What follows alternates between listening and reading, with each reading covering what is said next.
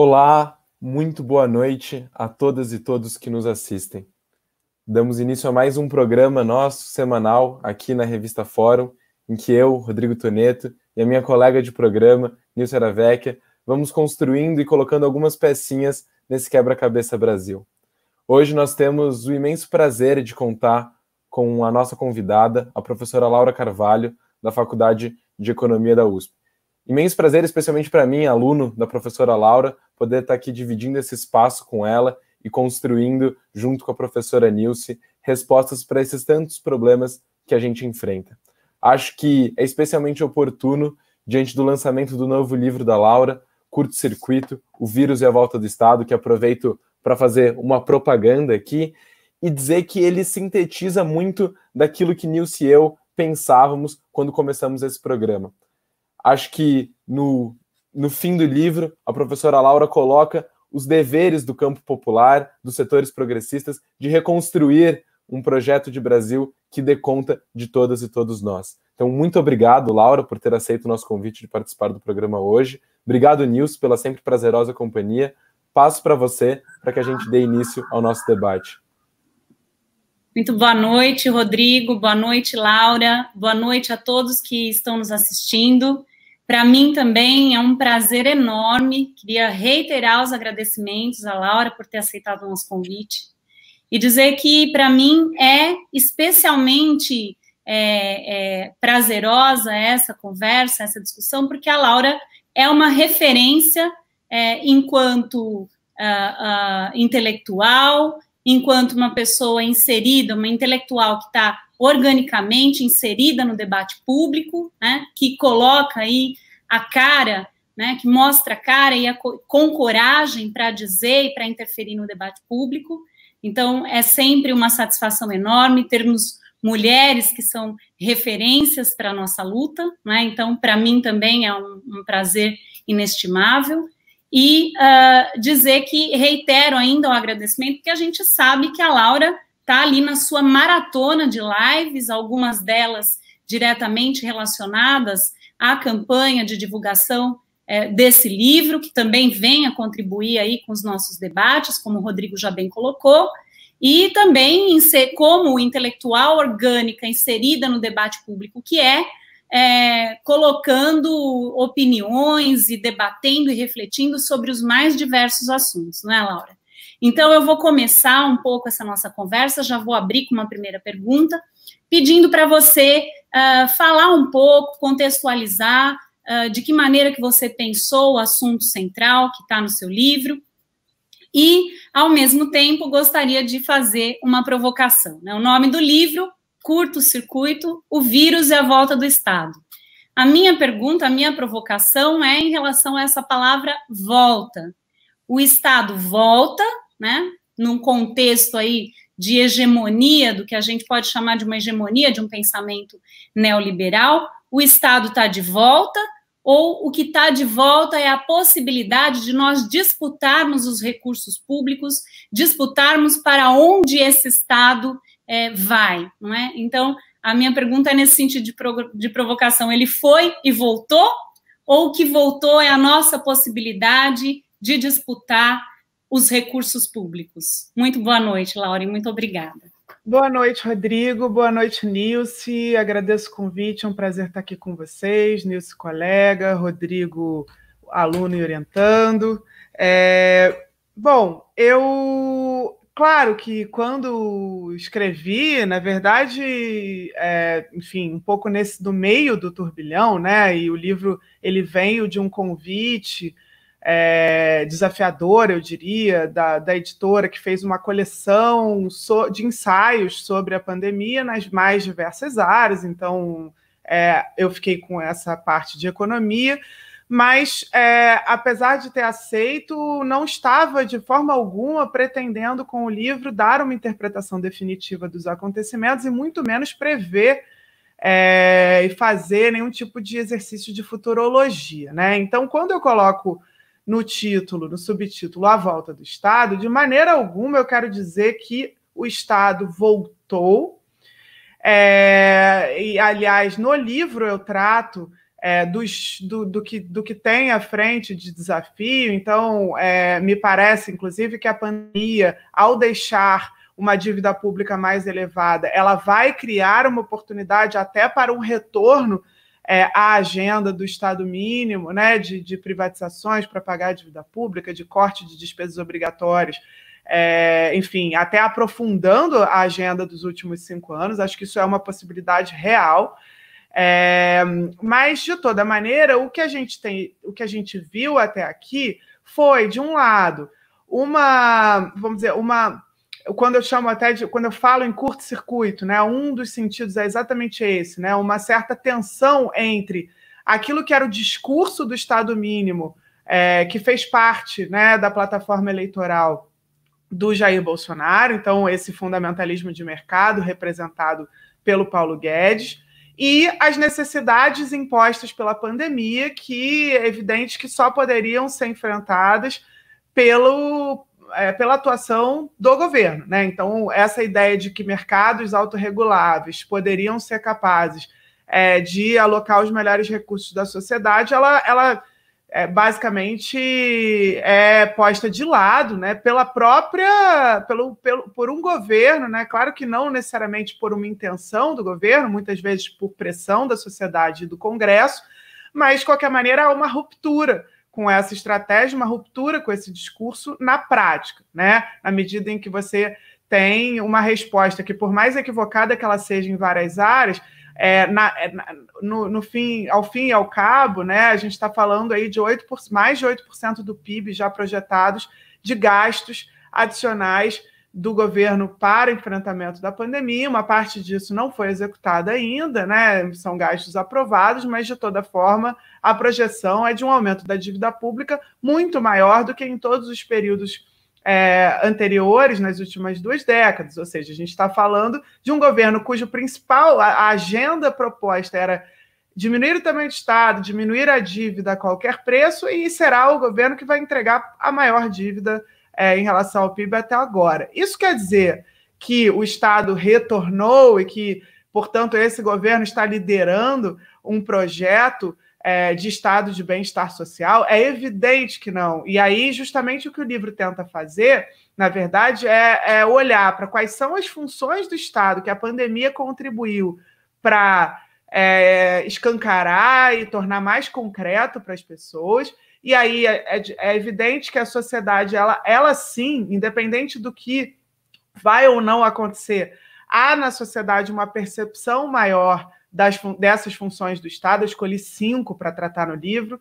É, há uma valorização dessas funções em alguma medida, e ao mesmo tempo isso oferece para nós, e, e para mim, enquanto economista, no fim das contas, foi o que eu fiz aqui no livro, uma oportunidade para refletir sobre esses papéis, sobre como esses papéis foram realizados no passado, quais instrumentos nós temos que é, não foram, não chegaram a ser destruídos e que se mostraram fundamentais nessa crise, que instrumentos, por sua vez, já vinham sendo desmontados e fizeram falta, e que outras coisas nós nunca chegamos a desenvolver, né? Que carências históricas nós temos, é, pensando aí numa agenda futura para, enfim, não para que esse governo execute, né? Mas para que nós consigamos é, angariar nossas forças e, e, e, inclusive, aproveitar né, essas mobilizações, essas redes de solidariedade que já têm surgido na sociedade no momento da pandemia para é, pensar em políticas públicas. Né? Então, esse é, um, esse é o objetivo do livro, é menos o de é, dizer o que ocorreu, o que vai ocorrer em relação a, ao Estado maior ou menor, e mais o de propor mesmo, a partir de uma reflexão sobre esses papéis, e, claro, usando a história econômica contemporânea e essa pandemia para também iluminar o que, que são esses papéis, como que o pensamento econômico é, entende esses papéis do Estado, como é que esses papéis foram mudando ao longo do tempo no pensamento também dos economistas, né? o que, que a crise de 2008 já tinha provocado de mudança e como que essa mudança foi, e talvez até amadurecendo é, a percepção em torno de algumas dessas coisas desde 2008, a pandemia, de alguma forma, tornou mais evidente ainda e mais rápida a resposta de vários países. É por aí. É, é, é um livro que, assim como o anterior, ele, ele também usa o contexto e a história para ensinar um pouco de economia, né? um pouco dos conceitos. Perfeito, Laura. Um livro necessário, né? Então, vai lá, Rodrigo. Necessário e corajoso, eu acho, porque de fato fazer formulações, avaliações sobre o momento corrente é sempre uma tarefa difícil. E acho que o livro se organiza de uma maneira, justamente por tratar dos conceitos, com que faz com que ele não fique datado. Por mais que seja um livro situado nesse momento, acho que ele traz elementos que, que vão permitir que a gente debata ao longo de mais tempo. E a minha pergunta vai um pouco nesse sentido, porque eu acho que tem uma. A própria dimensão do curto-circuito e da contradição que o governo Bolsonaro enfrenta tem, para mim, uma face que fica escancarada também na, no seu texto, que ao mesmo tempo que ele fez muito mais do ponto de vista do que ele estava disposto a fazer da ação do Estado, ainda foi muito aquém daquilo que a gente imaginaria ser necessário para dar conta da gravidade do momento. E era isso que eu queria que você explorasse um pouco mais, Laura. O que você acha que a gente.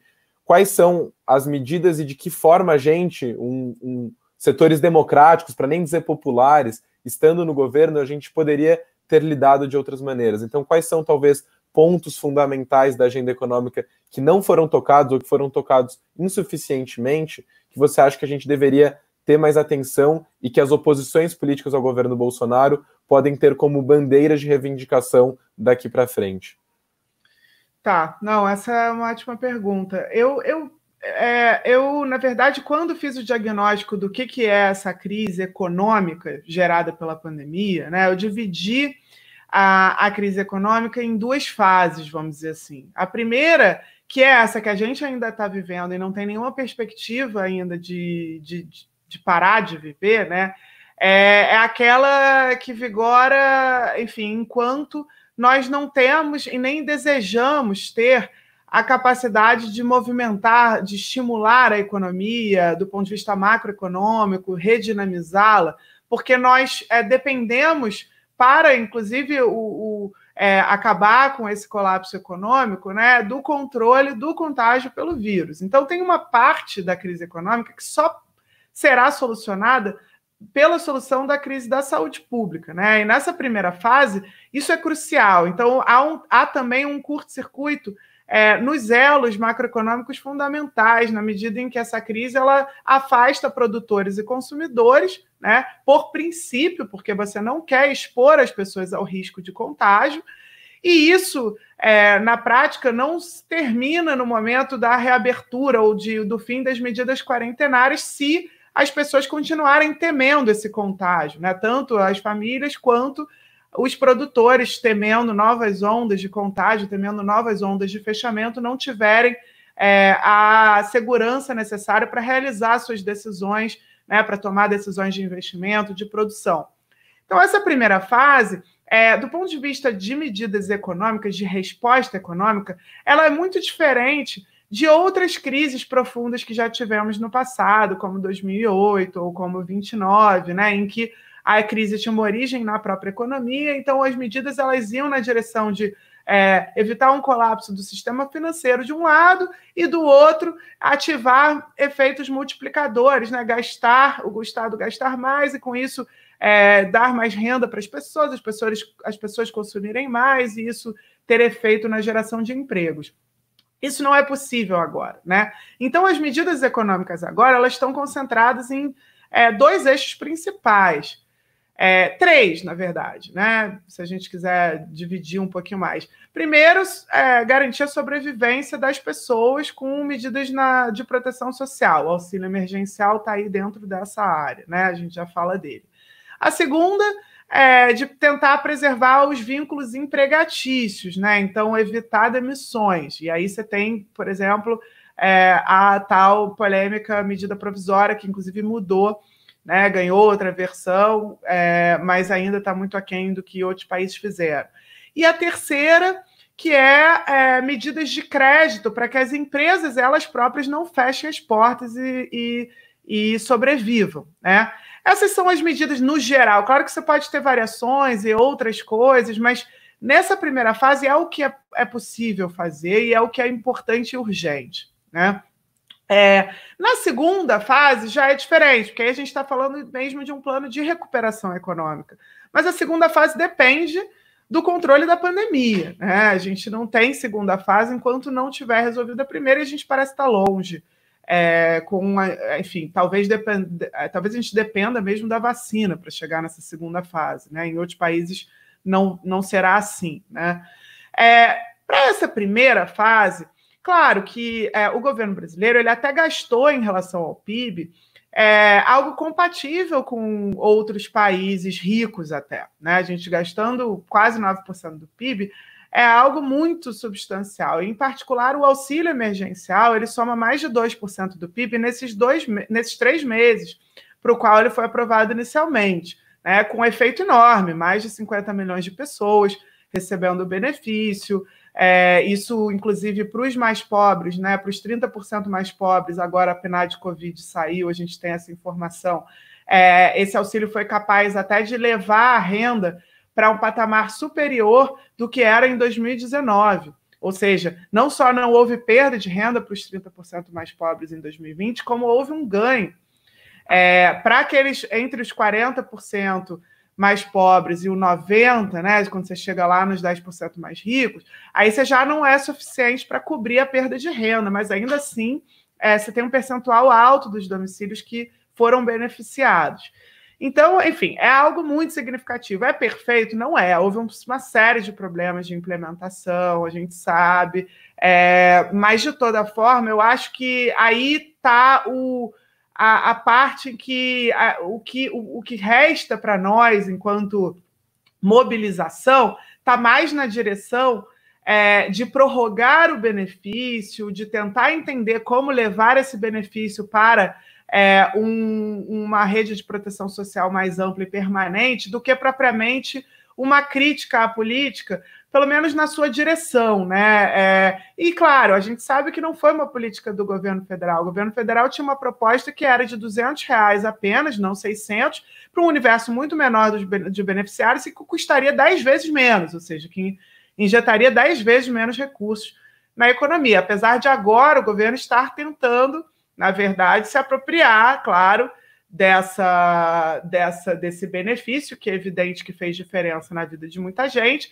e tentará criar um nome, um novo programa. Não sabemos ainda exatamente qual vai ser, mas é um desafio, inclusive, para nós, porque isso pode trazer ao governo alguma base popular, né, que até aqui era muito pouco presente, né, mesmo na sua eleição em 2018.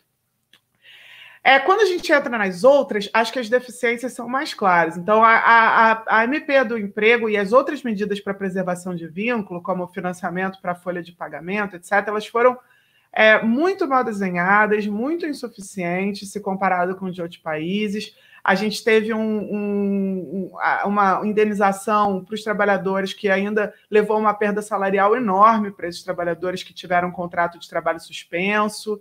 É, então, enfim, claro, ela tem um, algum benefício, tem, porque ela exige que aqueles contratos que sejam suspensos depois retornem, é, dando estabilidade no emprego por mais um, três meses, né, o mesmo período da suspensão. Então, você tende a preservar alguns vínculos empregatícios com isso, mas você teve uma perda de renda muito alta para os trabalhadores, e sem contar que a primeira versão da, da, da medida ela era absurda, ela, ela realmente só beneficiava os, empre, os empregadores e nada os trabalhadores. Né? É, agora, eu acho que a deficiência maior nessa primeira fase foi no terceiro eixo, que é o eixo do crédito. Aí, realmente, nós tivemos muito pouca resposta, muito lenta. Nós vimos naquela reunião ministerial no ministro Paulo Guedes que talvez isso não seja simplesmente um problema técnico, né, um problema de dificuldade de implementação, ele fala explicitamente que não tem muito interesse em, em, em oferecer linhas de crédito para micro e pequenas empresas, que são justamente aquelas que mais demandam é, financiamento a, é, a, juros baixos, né, num momento, e, e vindo de bancos públicos no momento de crise, dado que essas empresas têm pouco acesso já a crédito no mercado privado. No momento de crise, vão ter acesso menor ainda, com juros mais altos, dado o risco envolvido nessas operações. Então, é, a gente tem muita chance realmente de. É, a gente vai ter muita empresa pequena quebrando, né, e muita chance de chegar num, numa concentração de riqueza, né, numa concentração de mercado com oligopólios, etc., ainda maior em vários setores da economia. Isso eu acho que é um elemento que é importante porque tem a ver também com essa demonização do BNDES é, que houve nos últimos anos, como foram retirados recursos do banco, né, que é quem tinha toda a expertise para implementar uma linha de crédito até melhor do que, a que os outros países estão fazendo. Né? A gente tem muita expertise, a gente tem um banco público com muito, muito entendimento de crédito para capital de giro, de como fazer isso, né? É, exigindo as contrapartidas necessárias. Então, enfim, aí eu acho que é a lacuna principal nessa primeira fase. A segunda fase, eu acho que aí a lacuna é total, porque a segunda fase, quando ela vier, se ela vier, bom, esperamos que ela venha em algum momento, né? É, ela exige um plano de recuperação. Esse plano de recuperação já deveria estar sendo desenhado agora. Se a gente quiser realmente ter um plano é, que envolva, vamos dizer, de um lado, uma expansão de gastos sociais e de investimentos públicos, né, infraestrutura, e de outro, por exemplo, uma tributação dos mais ricos, é, esse plano que está sendo debatido de alguma forma, mas ainda né, em, em, linhas gerais, mas que em outros países já né, tem pensado nessa recuperação inclusiva, sustentável, como um eixo é, de políticas do pós-pandemia, é, esse plano ele, ele depende muito de um, de um tipo de planejamento e de, e de articulação né, de diferentes entes, privados, públicos, etc., que está muito distante do que um governo que justamente tem é, outra visão né, do, do, do, do que, que é o, o Estado, o papel do Estado tem. Né? Então, isso está completamente distante, isso não será feito, ainda que você tenha tido aí a ala militar do governo, numa tensão com o ministro Paulo Guedes, né? É, tendo aquela, aquela esboço de proposta de um plano chamado Pro Brasil, você vê que isso já foi revisto, foi desmentido. Eu acho até que existe essa tensão, mas mesmo que haja algo, né, não estará muito distante de um plano de recuperação que embuta um, uma, um projeto, né, um modelo de desenvolvimento para o século XXI, inclusivo, sustentável, redistributivo. Isso a gente tem todo o espaço para propor e para desenvolver, porque não sairá desse governo nada. E o último ponto que eu só queria destacar, que eu esqueci de falar no início, é o seguinte: sim, nós gastamos em relação ao PIB é, quase tanto quanto, enfim, até mais do que várias economias avançadas e vários países ricos. Agora, é, nós, é, pensando estruturalmente as nossas fragilidades quando esse choque chegou da pandemia, nós precisaríamos ter investido muito mais, porque nós temos quase metade da população trabalhando em, em, no setor informal, nós temos níveis abissais de desigualdade. É, nós já vínhamos de uma trajetória de estagnação desigualitária nos últimos anos. É, então, a nossa situação e de outros países da América Latina, ela era já muito mais dramática, né? É, estruturalmente e conjunturalmente. Então, a resposta ela deveria ser maior. Esse é o problema das desigualdades globais também. Os países com menor capacidade e menores recursos para é, enfrentar essa crise são aqueles que mais precisariam de recursos para enfrentá-la, né? E, e sem, isso, enfim, no caso de outros países da América Latina é ainda pior, porque são países com uma restrição real, é, já é, agora, imediata, de financiamento, né? Que estão endividados em dólar, com o FMI, etc., e realmente não tem os recursos nem com endividamento para enfrentar essa crise. Ô, Laura, eu vou é, partir dessa exposição brilhante que você fez, né? Você, tem uma capacidade aí didática de deixar tudo absolutamente inteligível para gente. Então, eu vou partir disso. Então, você coloca essas, essas três linhas de enfrentamento do momento atual e coloca a questão é, de um plano de recuperação, né?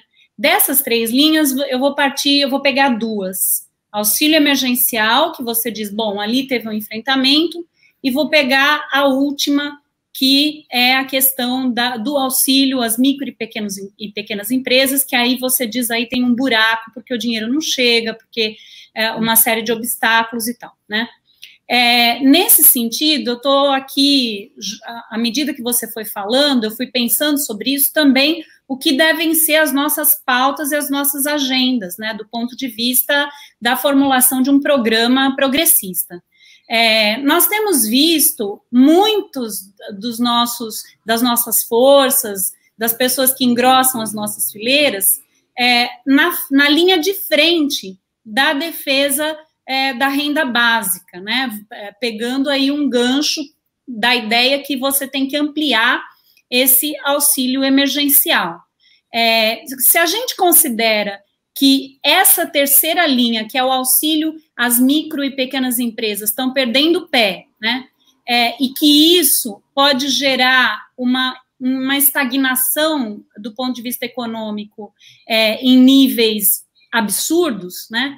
E, e se a gente pensa que se essas micro e pequenas empresas elas, pod elas podem servir para dinamizar a economia no âmbito de um plano de recuperação, né? Será que nós da esquerda, veja, não estou querendo dizer que não devamos colocar a renda básica como uma pauta, mas será que nós não estamos errando o pé no, no tamanho do esforço que a gente está colocando em uma questão e, e, quase que no esforço invisível que a gente está colocando na outra, né? Porque a pauta da renda básica ela tem tomado uma visibilidade que apaga um pouco as outras pautas. Então, um pouco essa pergunta que eu, que eu tenho para te fazer, e pensando, inclusive, do ponto de vista político, né? A gente vê, curiosamente, um movimento desse governo no sentido. É, vamos pensar que, Elias, ele tem, ele originalmente, esse governo tem uma base de apoio social muito maior em proprietários de micro e pequenas empresas do que nas populações de menor renda da população, não é? Ele está, então, a gente pode dizer que ele está processando aí uma inversão da sua base de apoio, né? Do ponto de vista é, de onde que ele injeta, o, o, de onde ele direciona o recurso público. É, nesse sentido, será que a gente, não que a gente deva, como eu disse, retirar o pé de um lado, mas será que a gente não deve colocar o pé desse outro lado que está ficando ali, uh, digamos, é, sem, sem o apoio uh, necessário para enfrentar e para reivindicar junto a esse governo? Laura, eu queria só aproveitar e emendar uma, um ponto também nessa pergunta da Nilce, que eu acho que tem um elemento bastante interessante do, do que você tem debatido, e que é qual que é o papel também do Estado em, ao dar esse crédito, direcionar também e induzir tipos específicos de desenvolvimento e pensar numa maneira mais estratégica também de, de construir isso. Eu acho que é, é o elemento final do Estado empreendedor que você traz e que eu queria também que você pontuasse um pouquinho, talvez, nessa resposta. Tá. É, não, é, veja, não só nós estamos perdendo uma oportunidade, não necessariamente por uma substituição com a pauta da renda básica, mas acho que de toda forma, nisso você tem toda a razão, que nós estamos perdendo uma oportunidade de mostrar é, e de apontar mais né, os caminhos que a gente teria para é, a sobrevivência não só das famílias, mas também a sobrevivência das micro e pequenas empresas. Né? E acho que, sem dúvida, essa era uma base que o governo tem. E aquela, aquela fala na reunião ministerial do próprio Paulo Guedes, dizendo que não tem que prefere proteger as grandes, não lembro exatamente em que termos, mas ele é, é, muito claro nisso. Eu acho que poderia ter sido ela mesma muito mais bem aproveitada, considerando que não só as linhas não estão chegando de crédito, né, são pequenas, etc., como ah, parece haver uma, uma, um desejo explícito de, de que é, a prioridade seja dada para as grandes, né? É, enfim, isso acho que poderia sim ter, ser mais bem aproveitado, ser mais bem é, articulado, inclusive com propostas específicas, né, para é, linhas de crédito diferentes, etc. É, algumas coisas foram feitas, mas são subfinanciadas, outras coisas estão demorando, demoraram, enfim. Mas, de toda maneira, eu acho que há espaço para isso, inclusive com uma defesa dos bancos públicos, né, que sempre foram uma agenda que, enfim, é, não faz parte desse governo. E eu acho que, de alguma maneira, esses bancos públicos atuam, né? E os, e os micro e pequenas empresas, os empresários, né, se beneficiam dessa política, isso tem um peso, né? É, agora, o que é ainda pior é que me parece que o, Bolsonaro, o governo Bolsonaro conseguiu é, ter é, o apoio, manter o apoio dessas micro e pequenas empresas, mesmo não dando, não fazendo as políticas necessárias, em muitos casos, porque assumiu esse discurso é, pró-abertura da economia, né? Então, é, na verdade, tanto nas, nas classes de baixa renda, né, que, que tem mais dificuldade de manter a sua renda e, e sem é, ficando em casa, né? É, é, evidente, então pessoas que não têm colchão nenhum, etc. Quanto no caso dos empresários, o discurso é, contra as medidas quarentenárias e que tenta transferir para os governadores a responsabilidade pela crise econômica, é, ele tem algum apelo, me parece. Né? E, e, e, portanto, seria mais ainda o nosso dever é, colocar as agendas que é, é saem desse dilema entre ou a sobrevivência econômica ou a sobrevivência das pessoas física, né? É, essa oposição entre morte física e morte econômica que o Bolsonaro faz, ela só pode ser é, vamos dizer, de, de, é, ela só pode ser eliminada né, no momento em que a gente tem uma agenda que é essa terceira via de sobrevivência de ambos, que é justamente essa agenda que eu estava colocando aqui. E, e, nesse sentido, a gente fez muito para a agenda de proteção social e conseguiu implementá-la, só que aí isso também, né, claro, teve um benefício enorme, acho que sem isso, né, a, o, a situação, a crise social teria sido é, ainda mais dramática, não há, não há dúvidas, né, foi uma vitória, mas é uma vitória que também está sendo aproveitada é, pelo governo Bolsonaro, que agora passou a ter um discurso novo, né, para pobre, em que ele, inclusive, está colocando o Bolsa Família como alguma coisa que era um Bolsa Esmola, que era muito pouco, e que eles é que estão agora criando esse Renda Brasil, que será maior em valor, maior em universo de beneficiários. Então, eles estão capturando também essa agenda, né?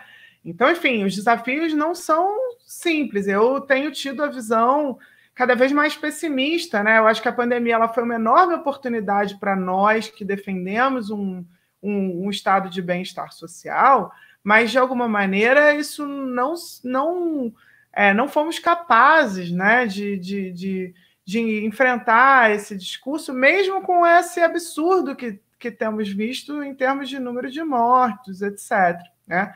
Seria, eu acho, estratégico, sim, pensar em coisas é, que, que, enfim, que também pudessem aproveitar essas críticas ao que não foi feito né, para propor é, uma agenda diferente nessa área aí do, do, do, dos empresários, sem dúvida. Acho que seria é uma lacuna que deveria ter sido mais bem preenchida.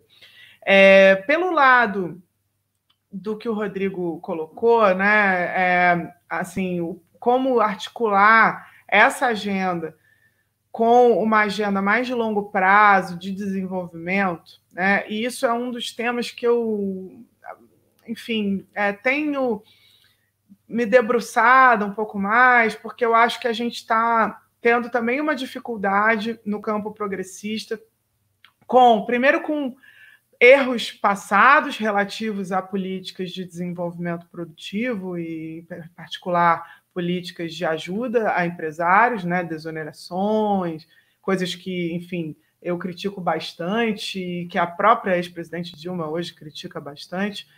É, é, enfim, é, quanto também é, um, uma visão do desenvolvimentismo é, do, do século XX, né, muito atrelada à visão dos anos 60 e 70, que bate de frente com desafios ambientais e sociais do século XXI. Então, aí eu acho que tem mesmo uma transformação muito necessária e urgente na nossa agenda. Isso não quer dizer abrir mão de ter uma agenda para o desenvolvimento tecnológico. E eu acho que a pandemia ela traz de forma muito concreta é, ausências também nessa área, né? A importância por exemplo, que a gente tem de institutos de pesquisas, universidades públicas e outros atores, inclusive privados, né, nesse momento para a produção de equipamentos médico-hospitalares, insumos, testes, etc. E, ao mesmo tempo, a incapacidade é, que a gente tem de produzir muitas das coisas necessárias, porque já nem temos cadeias produtivas e tecnológicas para isso. Isso ficou muito evidente, isso está evidente, aliás, no mundo inteiro, né? A dependência de produtos chineses ela se fez muito clara e cristalina, mas de toda forma, eu acho que é uma oportunidade para a gente pensar nessa visão de desenvolvimento que é, eu tomo emprestado da Mariana Mazzucato, professora da University College London, que é uma, uma abordagem é, orientada por missões. Então, ela fala, enfim, as, na verdade, a inovação tecnológica ela surge muito já na, na história a partir de missões. Então, o caso da missão de levar o homem à Lua é o caso emblemático, que levou uma série de, de inovações, mas a própria guerra, de alguma forma, é uma missão que fez com que investimentos do complexo militar norte-americano levassem a inovações diversas em várias áreas. E a gente, inclusive a internet, o computador, etc. E a gente tem né, missões hoje, tanto ambientais quanto sociais, claríssimas. Aliás, a própria pandemia pode ser entendida como uma missão. E, e isso significa que, ao, é, por exemplo, prover saneamento básico para as pessoas, prover um, uma saúde é, de maior qualidade no SUS, prover uma rede de transporte urbano, todos esses, é, esses eixos, né, que são demandas muito claras da sociedade, lacunas históricas, carências que nós temos, elas podem funcionar como eixos para uma política de desenvolvimento tecnológico e produtivo. Então, como? Ah, com o BNDES e o, o, as próprias compras públicas, quando o SUS vai e compra seus equipamentos, né, tudo isso tem um poder de, de é, fomentar a iniciativa privada e articular isso com universidades, com institutos de pesquisa para a criação de novas tecnologias e produtos enorme. Né? E a gente já tem esses instrumentos, mas a gente não articula esses instrumentos numa visão planejada, é, de longo prazo. Né? E, e eu acho que aí, com isso, ao fazer um plano desse tipo, a gente também deixa de lado aquela visão da política industrial. É, que, que é quase como um fim em si mesmo, né? em que o objetivo é desenvolver determinado setor, é fazer com que determinado setor sobreviva da indústria. Eu acho que isso não tem uma, uma capacidade de mobilização da sociedade. Né? É, é, é, muito mais interessante você colocar a política de desenvolvimento tecnológico a reboque das necessidades da população, tais quais essas que a gente está vendo agora. Né? E a, até o debate sobre o complexo industrial da saúde voltou.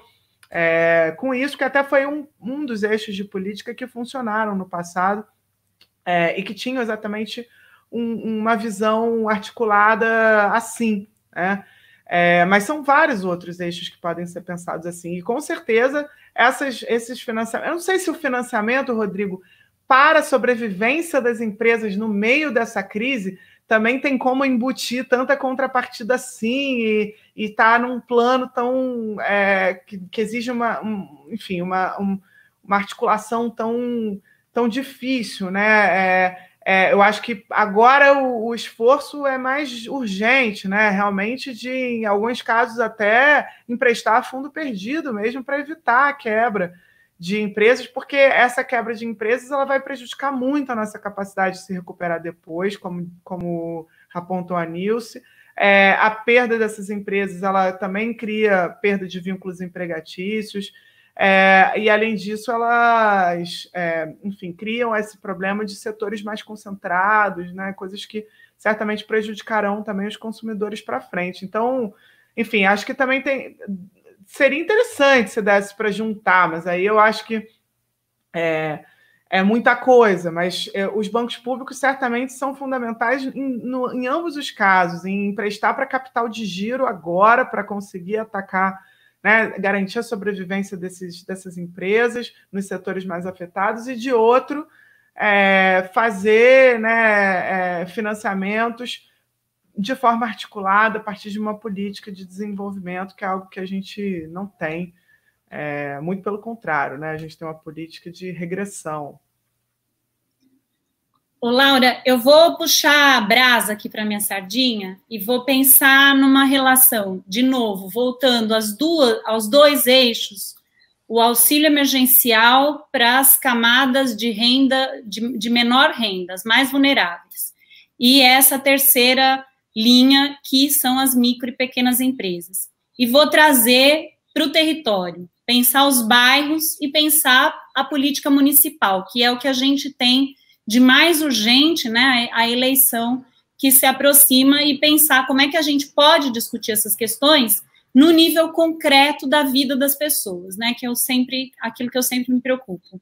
O Lab Cidade, eu não sei se você chegou a ver, que é o laboratório da FAUSP, coordenado ali pelas professoras Raquel Ronick e Paula Santoro, eles produziram é, um, um, eles produziram um mapa recentemente que mostra as manchas de calor com as, as mortes por coronavírus, né, aquelas representações no mapa de São Paulo, indicando que é, o, o número de mortes incide muito mais nos pontos que são origens dos grandes deslocamentos. Então, elas, elas sobrepuseram os mapas é, indicando a localização das mortes com o mapa das viagens de origem e destino, que eu acho que é a, a, o mapa base ali, a partir das pesquisas do metrô.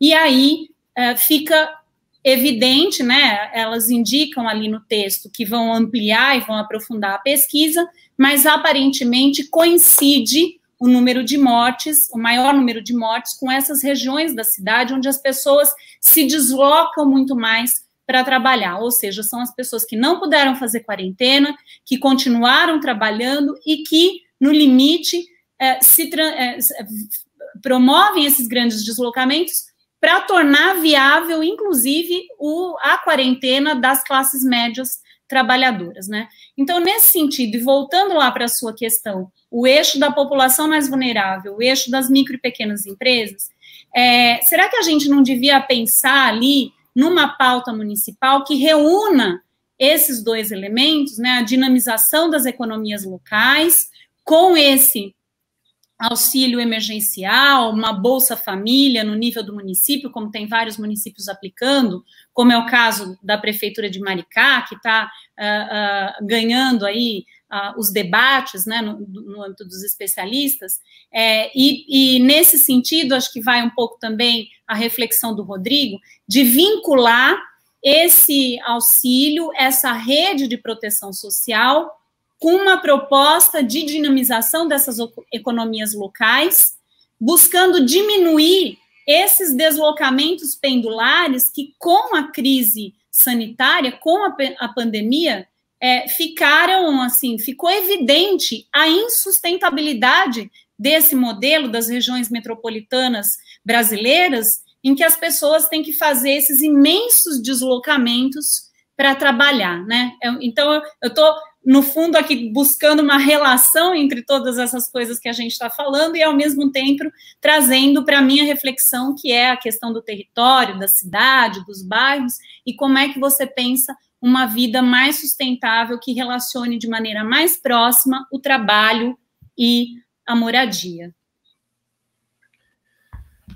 Não, essa é uma pergunta, assim, por um lado, difícil para uma macroeconomista, né, que não, não, não costuma mesmo pensar nas políticas é, de maneira tão local, mas é, o que eu consigo te responder é que, é, sem dúvida, há muitíssima evidência já no caso do Bolsa Família, e, e sem dúvida isso vale para esse auxílio emergencial, é, dos efeitos multiplicadores é, para o comércio e para várias atividades econômicas nos municípios em que o Bolsa Família fez mais diferença, né? Que são municípios no Nordeste, no geral, municípios mais pobres, né? Então, é, ao receber esse benefício, é, isso tem um poder de movimentar a economia local, né? Que acaba levando a uma geração de renda e até a uma, a um, uma arrecadação de impostos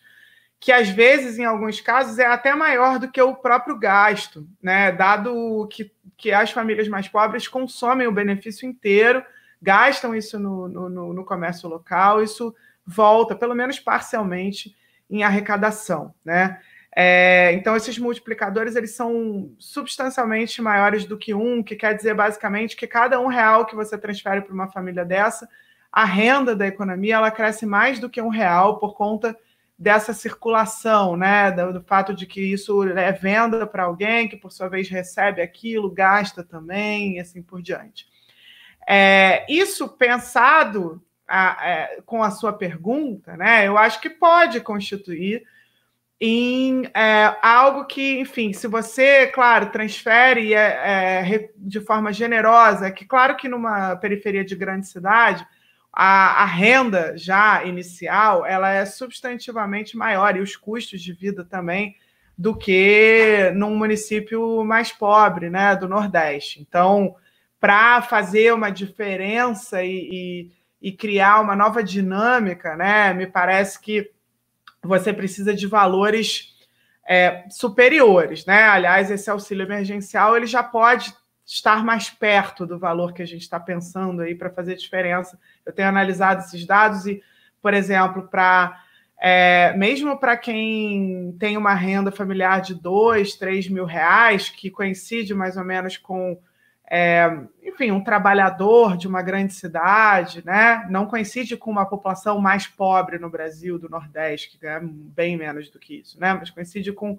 um trabalhador de periferia. É, essa, mesmo para esses, o auxílio emergencial ele, ele representou né, uma parte significativa e evitou a perda da renda é, muito maior nessa pandemia.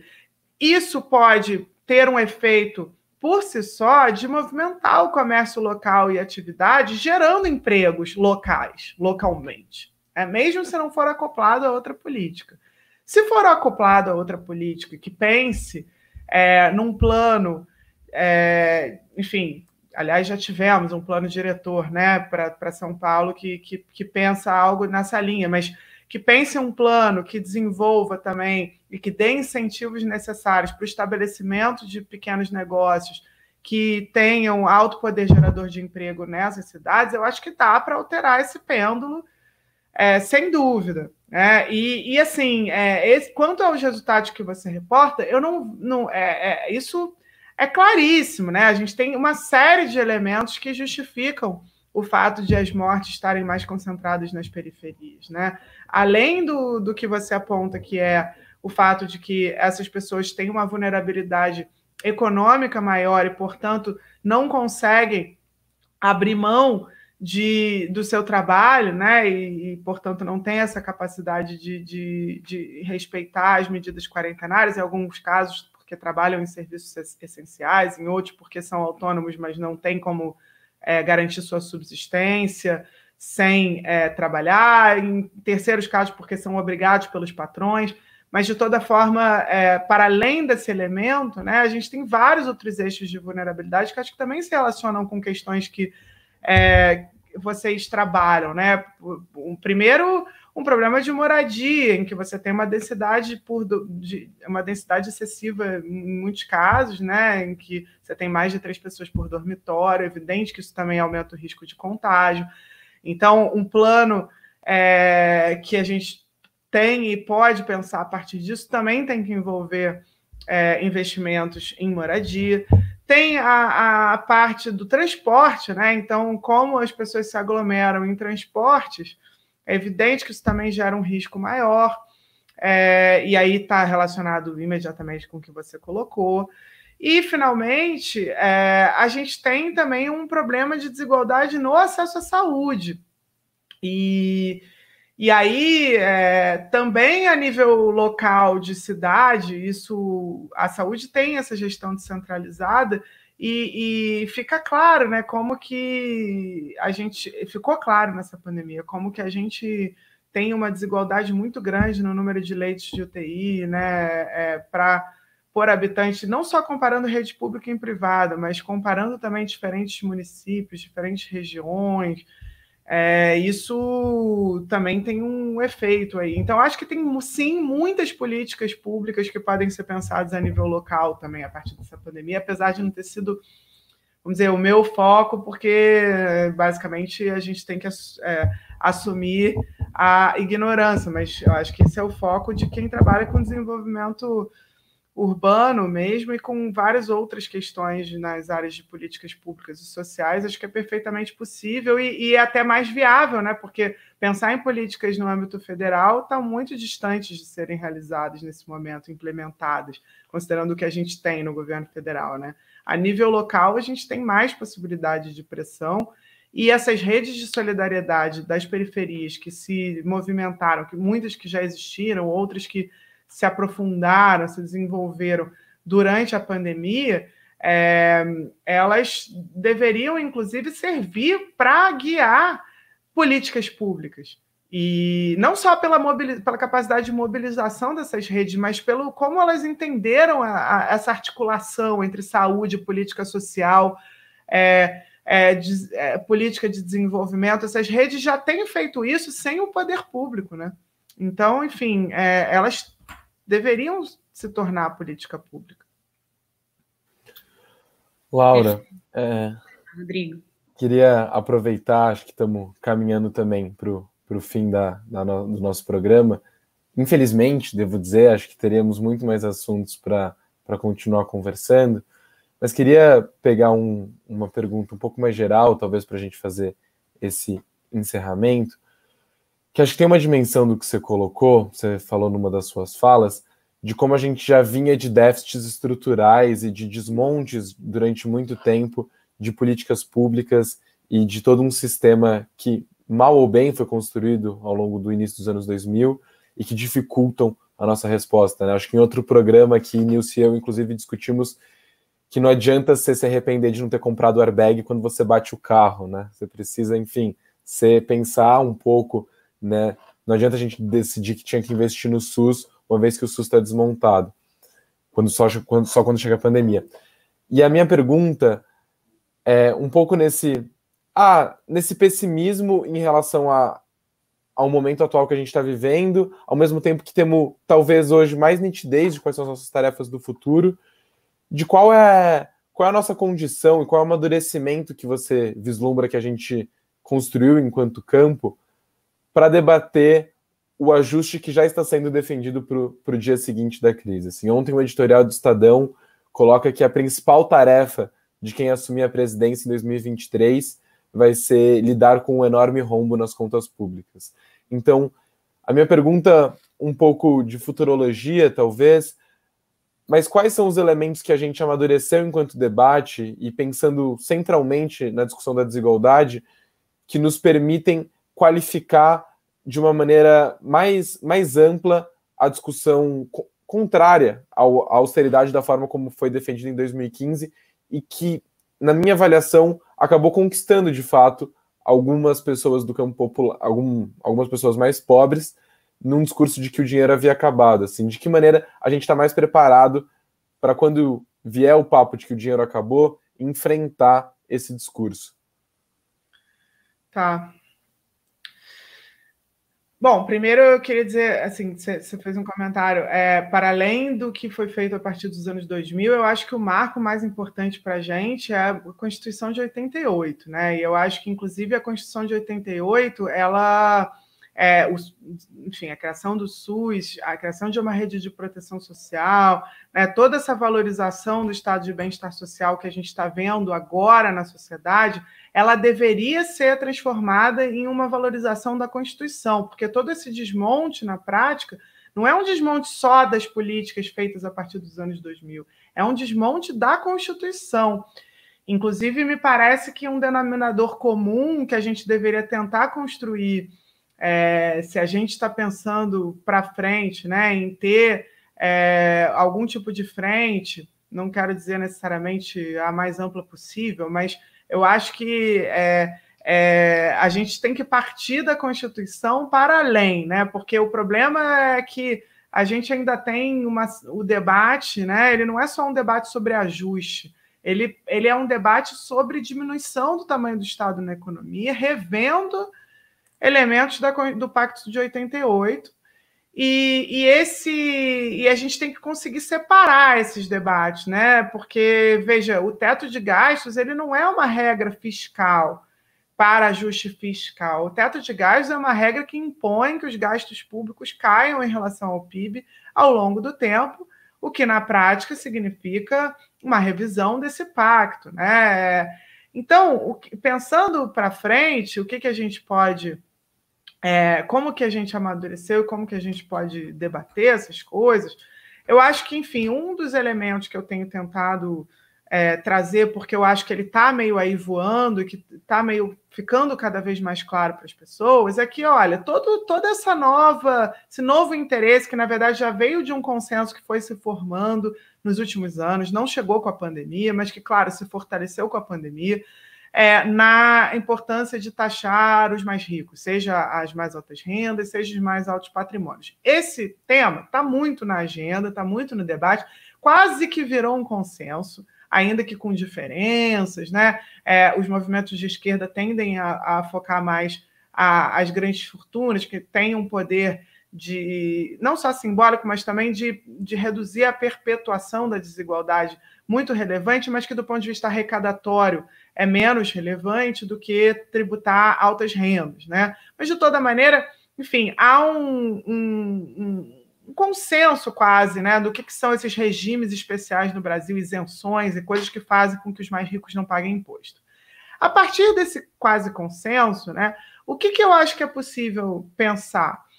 Bom, mas as pessoas precisam entender, então, que mesmo que a gente diga, não, então, enquanto sociedade, a gente quer manter o Pacto de 88, a gente quer até expandir recursos para o SUS, expandir recursos para uma renda básica. É, e quer fazer isso financiando esse plano com uma tributação das mais altas rendas e patrimônios. Bom, isso hoje é impossível com o atual teto de gastos. Né? Isso hoje é impossível. E isso é uma agenda perfeitamente compatível com o ajuste fiscal. Então, são dois elementos que, é, enfim, não estão tão claros para as pessoas, eu acho. Né? O fato de que o teto de gastos é incompatível, porque, na verdade, ele implica, ele tem por princípio nele a ideia de que tanto faz o quanto você arrecada, tanto faz o quanto a economia cresce, as despesas ficam paradas no mesmo lugar. Então, não adianta arrecadar mais com o imposto sobre os mais ricos, porque você não vai poder gastar mais.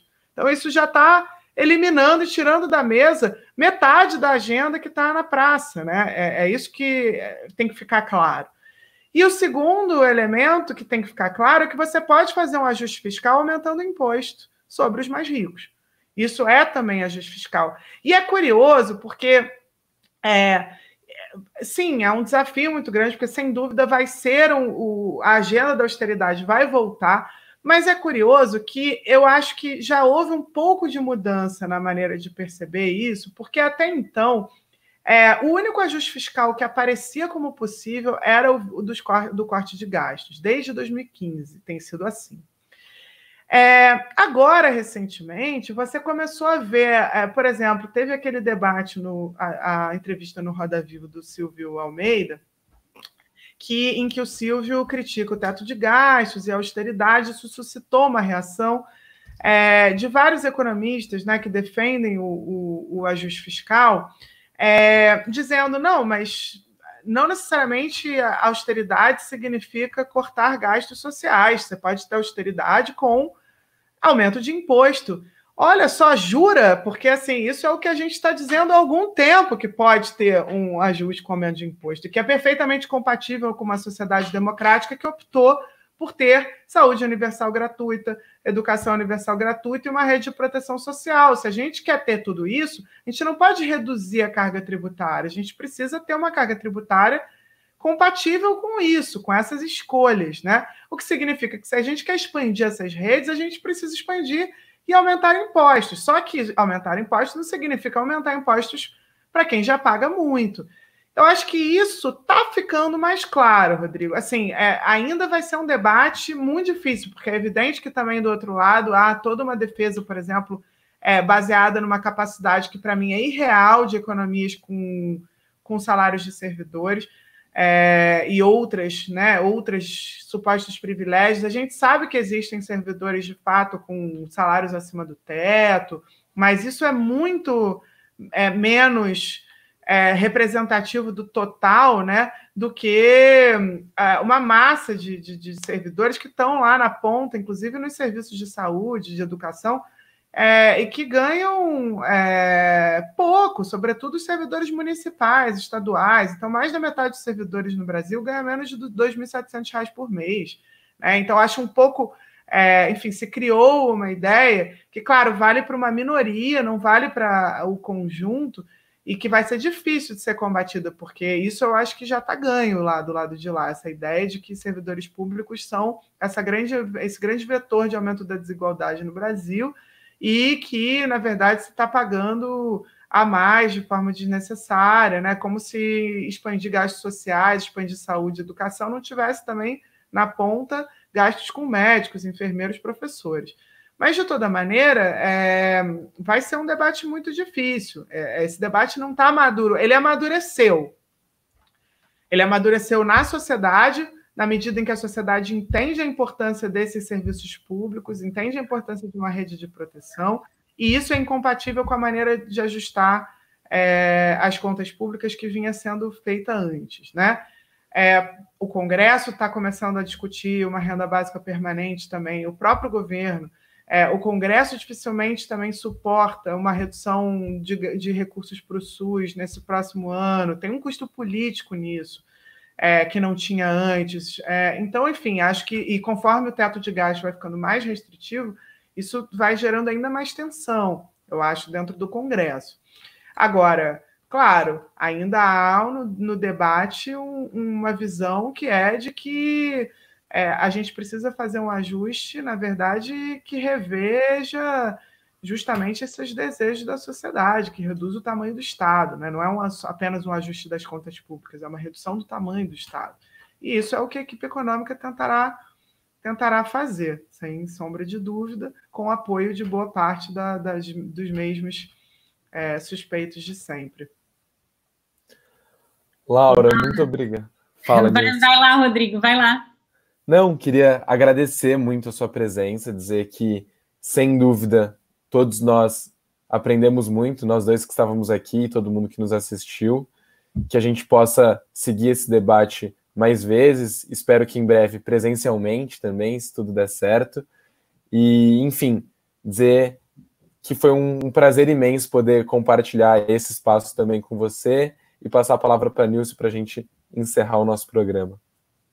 Eu também, Laura, agradeço muitíssimo, aprendi um monte, eu já acho que a gente vai construindo conjuntamente a, a nitidez né, do, dos quadros e dos contextos, que é, é uma, evidentemente, um quadro muito difícil, como você coloca aí, mas que ao mesmo tempo também começa a apresentar algumas saídas, algumas possibilidades, e você tem sido muito fundamental para construir essas saídas e essas possibilidades, né?